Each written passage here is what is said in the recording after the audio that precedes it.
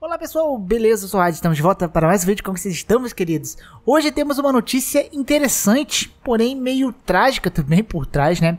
É em relação a Capcom e o fato de alguns jogos, na verdade vários jogos e datas de lançamentos vazaram de dentro dela e que podem revelar muitas coisas aí pra gente, né? A parte triste é que, infelizmente, entre o dia 2 e 5 de novembro, a Capcom teve um prejuízo enorme porque ela foi invadida e teve ali os seus dados criptografados. Basicamente, isso é um arquivo malicioso, né? Que simplesmente infecta todos os seus arquivos e criptografa, então você não consegue ter acesso a eles, a não ser que você simplesmente vá lá e pague uma quantia em bitcoins estipulada pelo cara que fez isso, para ele conseguir descriptografar para você, porque ele é o único que tem a chave para quebrar isso, né? E aí você ter acesso a seus arquivos. Isso aconteceu com a Capcom. Na verdade, isso é muito mais comum do que a gente imagina, né? É um tipo de vírus que é fácil de evitar, mas é muito difícil de se livrar depois que você pega, né? Aconteceu com muitas instituições públicas. O mais recente, se não me engano, foi no STJ, que teve vários dados aí criptografados, né? E isso é algo que não, não dá para tirar porque é uma criptografia muito complexa para se quebrar, então simplesmente ou você paga ou se você não tiver backup, você chora. E bem, com essa invasão, consequentemente, dados aí da Capcom simplesmente vazaram, né? E aí a gente teve aí foi que anteontem, eu acho, ontem, que já tinha saído coisas sobre o recente, o jogo que já vai lançar aí dela praticamente, Resident Evil Village, né? E que mostrava ali algumas fotos, né, principalmente do personagem principal. Eu não vou mostrar imagens aqui, tá, galera? Porque simplesmente é algo que provavelmente a Capcom não quer que mostre, porque são dados vazados, pode dar problema até pro canal, mas eu vou só comentar com vocês, tá?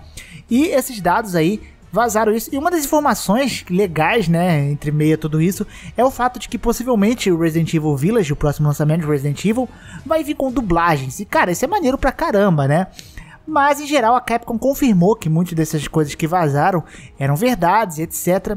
Porém, agora tivemos um novo vazamento, né? E algumas coisas podem corroborar isso, porque fontes internas ali, pelo menos da IGN, confirmaram que parece que essas agendas de lançamento eram verdadeiras, né? Basicamente vazou jogos até em 2000, pelo menos com planos de lançar até 2024 pela Capcom. Tem jogos que são legais, interessantes e que pode deixar a gente meio na hype. Em meio a tudo isso aí pode ser algo interessante, né? E durante esse vazamento aí, a Capcom falou que sim, teve dados de desenvolvimento que vazaram, o que ainda impulsiona um pouco, né? O fato disso aqui poder ser verdade. Não é 100% certeza, Existem pessoas falando que informações internas confirmaram, mas a Capcom ainda não veio a público falar nada. Mas, enfim, né? Esse aqui é o que aconteceu com ela e vamos falar aí então dos joguitos que vazaram pela Capcom e alguns deles são extremamente interessantes. Eu vou falar aqui os jogos aí que já não estão anunciados, né? Como por exemplo, não vou falar do Village, mas nós teremos para o quarto bimestre de 2021 Resident Evil Outbreak não sabe se isso aqui vai ser um remaster, um remake ou um novo jogo, tá? Muitos dos jogos aqui, inclusive, pessoal, eles estão com codinomes, que não quer dizer que vai ser o nome final do projeto, beleza? E aqui temos um dos maiores títulos aqui, que é o que mais me deixou animado nessa lista, Dragon's Dogma 2. Em 2022 vai estar saindo o novo Dragon's Dogma, e se isso realmente for verdade, eu estou muito feliz, porque Dragon's Dogma é um RPG muito bom. Se você não jogou, recomendo muito jogar. Ele é um jogo muito completo de um RPG.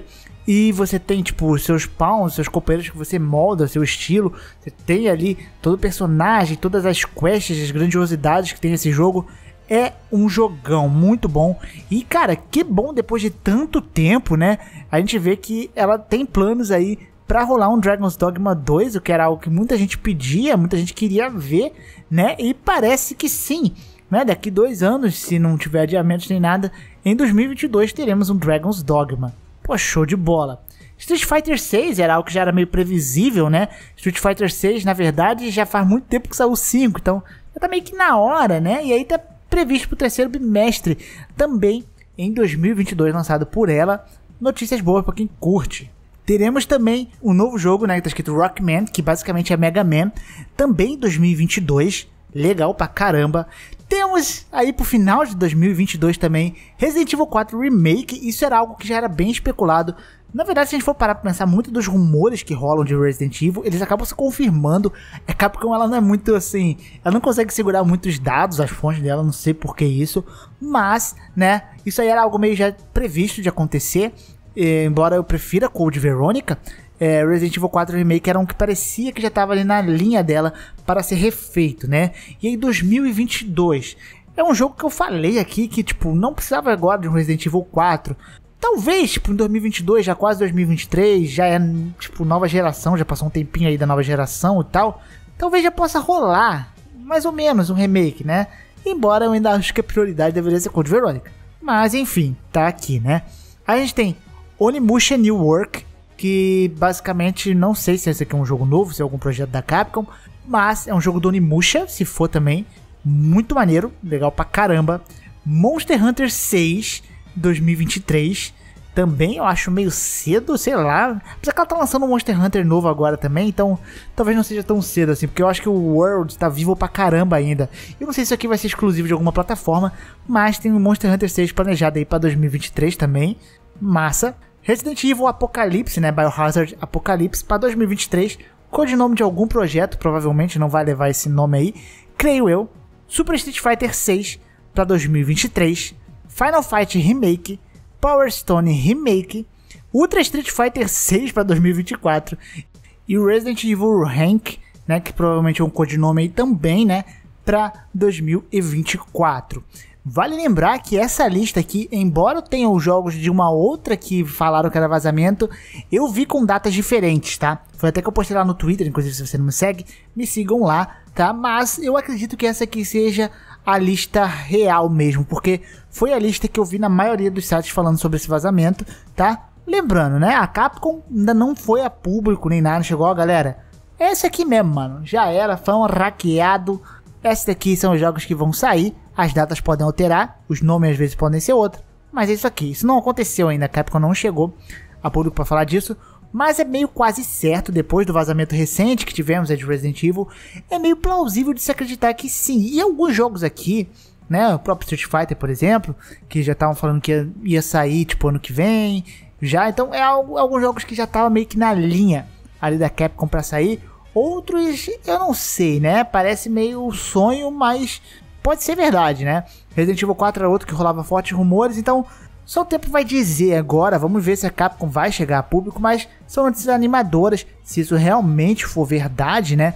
Principalmente pelo meu xodózinho Dragon's Dogma 2, que vai ser um prazer rejogar isso aqui, porque eu estava jogando inclusive há pouco tempo Dragon's Dogma, eu só não terminei porque eu comecei a jogar outro jogo, eu vou voltar inclusive, né? E é um jogo de RPG sensacional, para mim é um dos que eu mais fiquei animado. Tudo bem, eu gostei também de ver tipo Resident Evil 4 Remake, embora eu prefira o Code Veronica, talvez na nova geração agora seja algo que possa rolar, embora eu achava que não precisasse tanto. E o próprio Monster Hunter 6, né? São jogos aí de peso que foram mostrados, o que pode de certa forma parecer surreal, mas ao mesmo tempo eu não duvido. Tá? Então, guys, deixa aqui sua opinião, o que, que vocês acham. Óbvio que isso aqui é bem discutível.